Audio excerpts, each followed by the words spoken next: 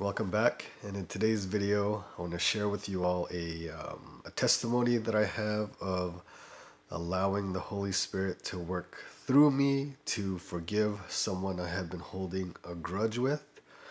Yes, again, another grudge that I was holding with somebody, but I think we all have it and I think by sharing this hopefully it inspires you to um, I don't know, let go of some kind of grudge that you're holding with someone or seek forgiveness or something along those lines.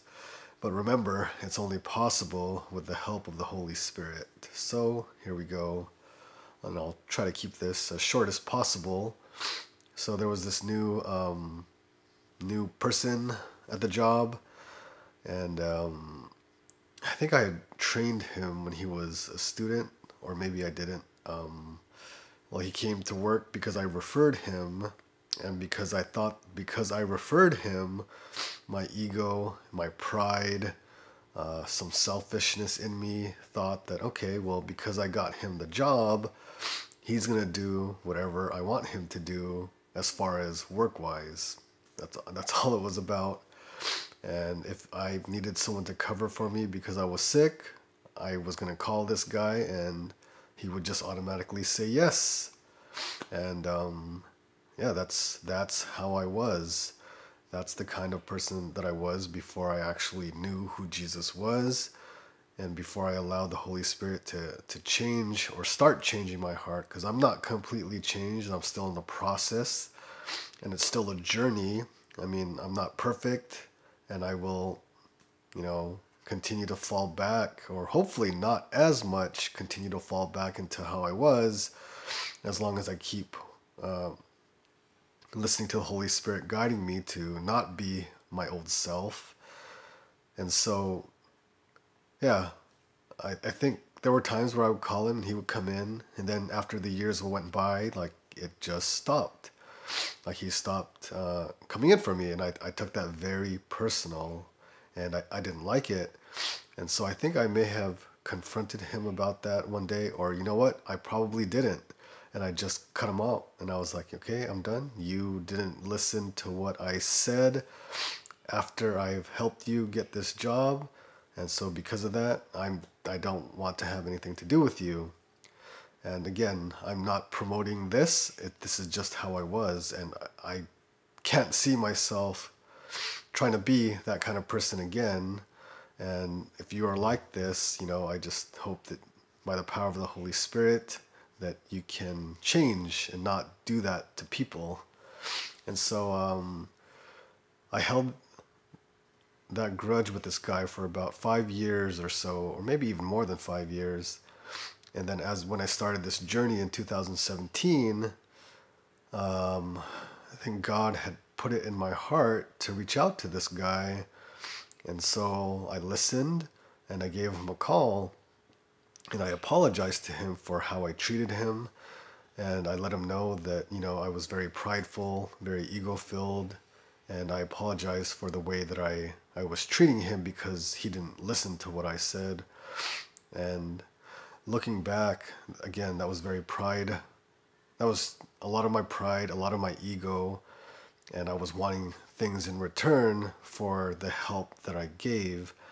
So in a way, my love or my my my something was it was very conditional, and if I am trying to be like Jesus, he's he's unconditional, and so I reached out, I asked for forgiveness, and thanks be to God, He was open, and He was open to to giving me that forgiveness, and and we talked it we talked it out, and um, till this day, I guess we're we're good.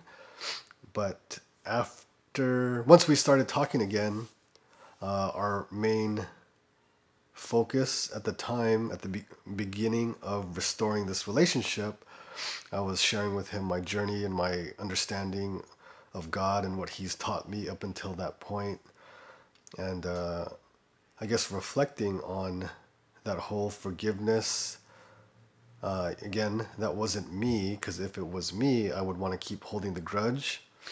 But I know that Jesus will not forgive me unless I forgive those who have hurt me. And so, yes, that was one of the motivating factors in me asking for forgiveness from this guy because I wanted to be forgiven by Jesus.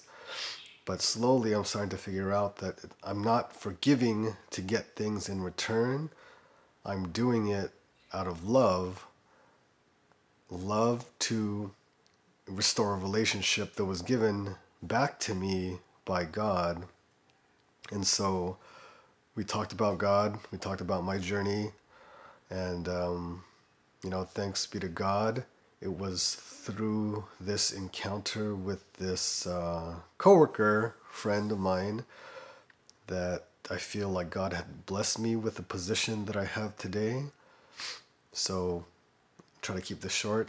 Uh, this guy invited me to go on an interview with him, and um, I wasn't even thinking I was going to get the job or anything. I just went to go see how he interviews, I guess.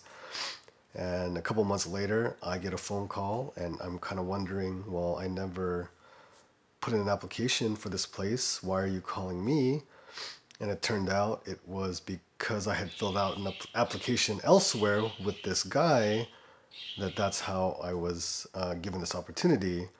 And so I explained, and I was very honest with uh, the owners, and um, thanks be to God, they gave me the position. And so I see how God um, was involved in this exchange. And I like to believe that, not that I was trying to earn anything, but if I'm trying to look for God's blessings in my life, I think He saw my openness um, to reconcile or to ask for forgiveness, to admit that I was wrong to this person that I had been holding a grudge with for four or five years, even more and he said, you know what? Since, like, not that's because I did that, but kind of seeing how things went along, like, I feel like that was a fruit of the reconciled relationship and that I was listening. Uh, that God blessed me with an opportunity to to be in the position that I have today, and um, yeah, I think uh, I think that's it. So the long or short story of it all is forgiveness. Forgiveness doesn't come from us, but rather it comes from the Holy Spirit working through us to forgive. And looking back again, if it was up to me, I would continue to hold the grudge until this day.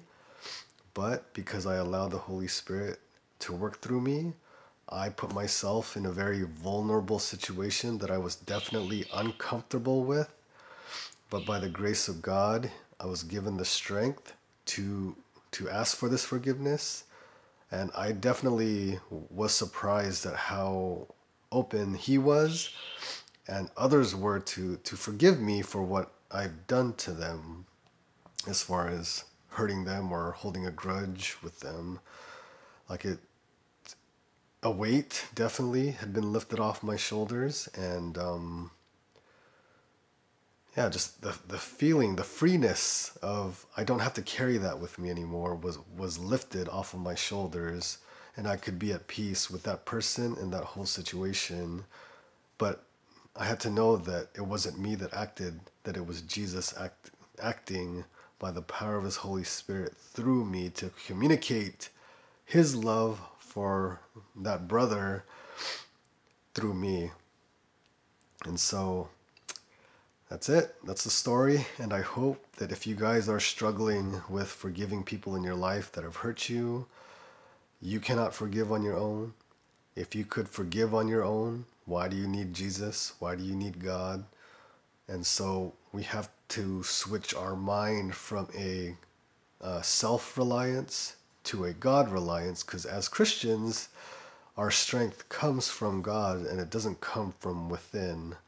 Our strength is in the Holy Spirit that was that God had given us and has given us.